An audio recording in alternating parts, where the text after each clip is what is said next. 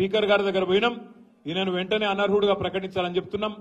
అందుకే నేను మిమ్మల్ని కోరేది కాంగ్రెస్ పార్టీ ఇవాళ వాళ్ళు తీసుకున్న నిర్ణయంతో పార్లమెంట్ అభ్యర్థిగా దానం నాగేందర్ను కాంగ్రెస్ అభ్యర్థిగా ప్రకటించడంతోనే స్పీకర్ గారు వెంటనే నిర్ణయం తీసుకోవాలి అనర్హుడుగా ప్రకటించాలని చెప్పి కూడా ఈ వేదిక ద్వారా నేను డిమాండ్ చేస్తున్నా.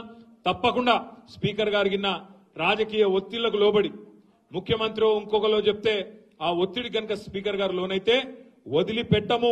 సుప్రీంకోర్టు దాకానన్న పోతాం కానీ నాగేందర్ను అనర్హుడిని చేసేదాకా ఇడిచిపెట్టమనే మాట కూడా తప్పకుండా మీకు విజ్ఞప్తి చేస్తా ఉన్నాను అందుకే మా సోదరులు ఖైరతాబాద్లో ఉండే నాయకులు కార్యకర్తలకు ఉన్న విజ్ఞప్తి.